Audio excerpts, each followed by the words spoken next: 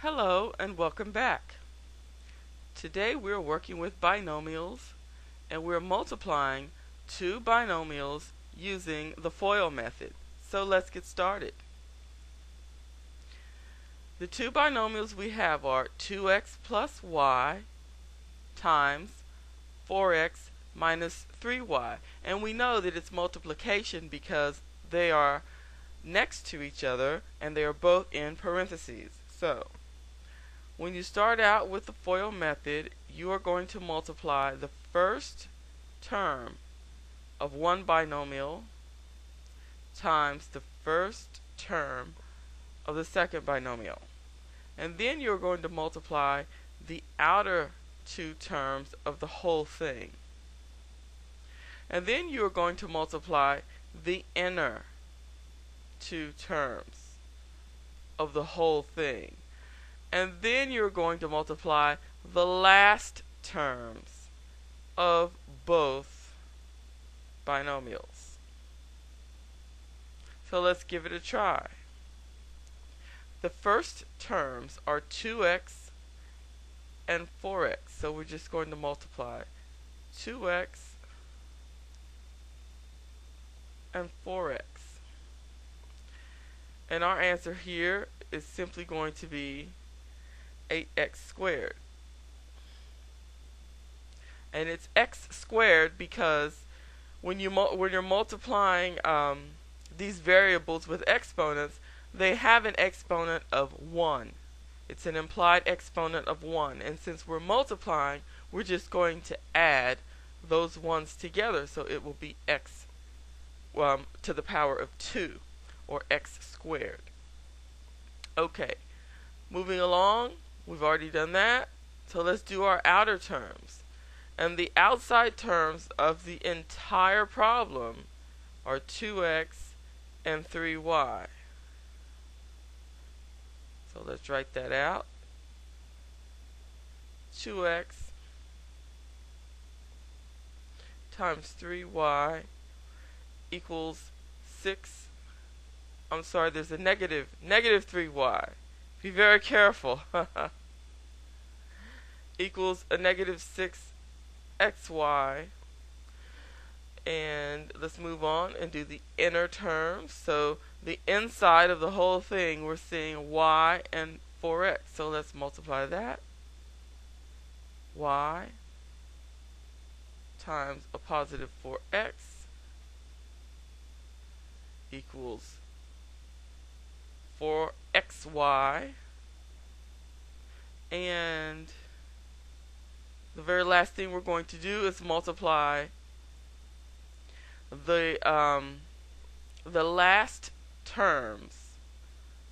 The last term of the of the first binomial and the last term of the second binomial.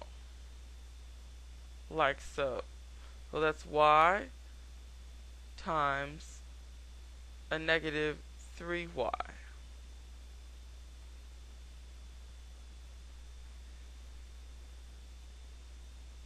And there's imp implied uh, there's an implied exponent of 1 on these y's. So the answer will be, will be negative 3y squared. Okay, so let's look at what we have. We have 8x squared, a negative 6xy, a 4xy and a negative 3y squared. Is there anything that we can do uh, to simplify this? Can we combine anything? Well, of course. You will always be able to combine the outer and the inner. So the answers, when you multiply the the outside, hold on. The answers when you multiply these two outer terms and the two inner terms of the whole problem together. This is the outside terms of the whole problem and the two ones that are inside of the whole thing together. Those will always be able to be combined. You'll always see they have the same variables. So, our negative 6y and our 4y will um, when we combine that, we'll end up with a negative 2y. So, and we're just going to move this over 8x squared. Those combine to a negative 2y at the bottom. We have a negative 3y squared. Can we combine anything further? Well, the um, variables and the exponents will not allow us to combine anything else. So the final answer for this is simply going to be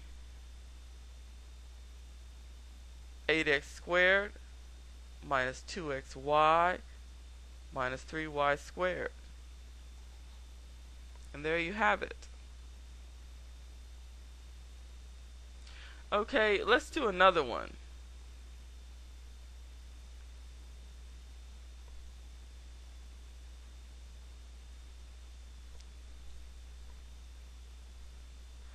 Okay, let's do 2x plus 2 times x plus 5. These are the first terms, the first terms of each of the binomials. So we're going to start there, and 2x times x is simply 2x squared. The outside terms of the whole thing are 2x and 5, so we're going to multiply 2x and 5. And we'll end up with a 10, yeah, 10x.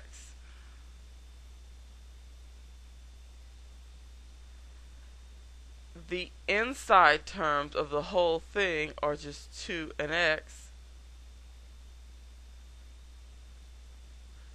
So we have a 2x. And you can already notice that the outside and the inside, uh, the product of that multiplication, the products of those, you can always combine them. For some reason, they always end up with the same um, same variables and uh, and raised to the same power.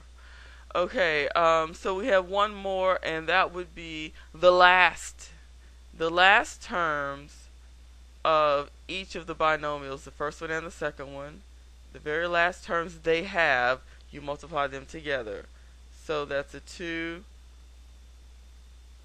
times a 5, which gives us a 10. So let's go ahead and combine these. The 10x and the 2x will bring us a 12x. So we have a 2x squared, a 12x, and a 10. Can we simplify any further? No, we cannot. So the answer here is simply going to be I usually like to change the color when I when I do the answer. 2x squared plus 12x plus 10. And that's it. Okay, let's do one word problem really quickly.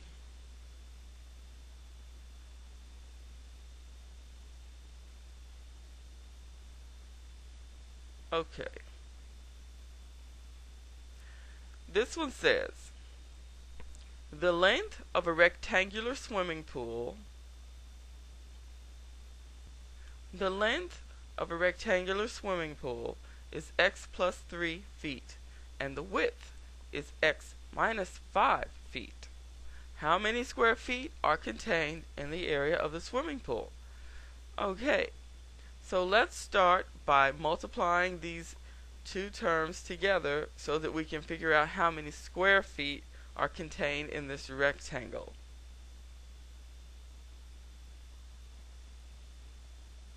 X plus 3 times x minus 5 or length times width. Okay, so there's an implied 1 as the variable for each of these x's. So when you multiply them together, that's an x squared.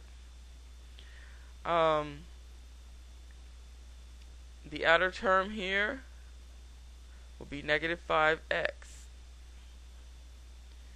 The inside term would be a positive 3x. And the last term will be multiplying the 3 and the negative 5 because they are last in both of these binomials. That last term is going to be a negative 15. Can we combine anything? Yes, we can combine the inner, um, the outer and the inner. So, we're going to end up with a negative 2x when we combine those. So we have an x squared, a negative 2x, and a negative 15. Can we simplify any further? No, we cannot. So the answer is simply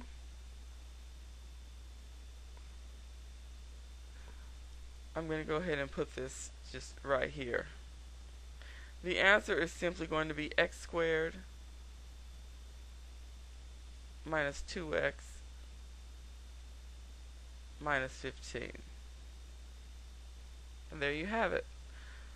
So, practice a few of these, and if you have to look at something like this up here, if you have to look at something that tells you the order to go in, or um, that's okay if you need to do that. Or another thing you might want to do is write out. I only put first, outer, inner, last, but it might be helpful for you to put more information like first terms of uh, first terms of each binomial, um, the outer terms of entire problem, inner terms of entire problem, last terms of both binomials. I mean, it might be helpful for you to write more information out when you first start doing it, doing this. Usually when people are looking for help with something like this, because you already know how to multiply, um, you already know how to multiply these with the variables by the time you get to this section. So usually it's just an issue of trying to figure out what first, outer, inner, last actually means. So draw lines if you need to draw lines um, and write out more information for each of the definitions and then look at that piece of paper and refer to it every time you do a homework problem and pretty soon after you've done 10 or 15 of these you will get the hang of it and you'll know what first outer inner last actually means and you won't have to look at anything so that's what happens. Just get through the first rough patch and everything should be okay. Alright, stay tuned for the next video and we'll, we will continue working with um, polynomials. Thanks.